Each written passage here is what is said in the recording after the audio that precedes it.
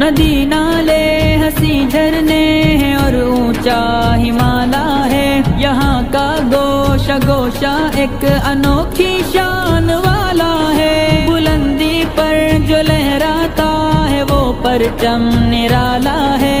ये अजमत का निशा अपना तिरंगा सबसे आला है। हमारा फख्र है, अरमान है, आँखों का तारा है। ये हिंदुस्तान हमारा है हमें है फख्र हम हिंदी